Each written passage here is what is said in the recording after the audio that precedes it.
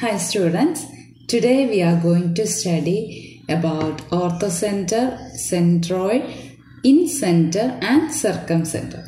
First let us discuss about orthocenter and for that I am drawing here a triangle and we know that orthocenter is the meeting point of all the altitudes.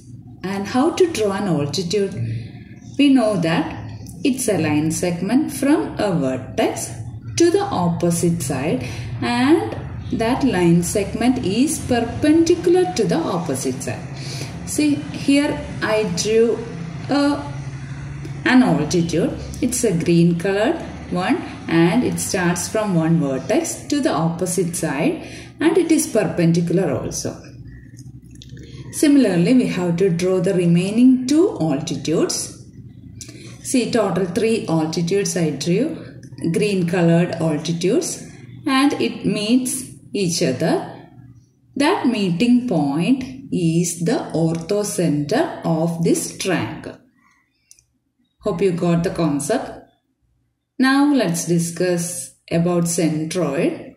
I drew a triangle and centroid is the meeting point of all the medians. What is meant by median? Median is a line segment from a vertex to the midpoint of the opposite side. See, here purple colored median I have drawn. Similarly, we have to draw the remaining three, the remaining two medians. See, all the three medians meet each other and that meeting point is the centroid of this triangle. Did you get the concept? Next, we have to discuss about incenter and circumcenter. For that also, I drew a triangle and we know that about angle bisectors. How to draw an angle bisector? I have already uploaded that video. I will drop the link of that video in the description box. Here we know that uh, total three angles are there and we have to draw the angle bisectors. All the three angle bisectors, it will meet each other and that meeting point is the incenter. So place the metal tip of the compass in uh, on the incenter and we have to draw a circle. That circle will be inside the triangle and it will touch all the sides of the triangle.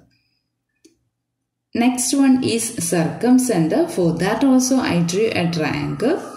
And here we have to draw the perpendicular bisectors. We know how to draw the perpendicular bisector. I have already uploaded that video also. I will include that uh, link of the video in the description box. And here also we have to draw three perpendicular bisectors because three sides are there. So all the three sides perpendicular bisectors we have to draw.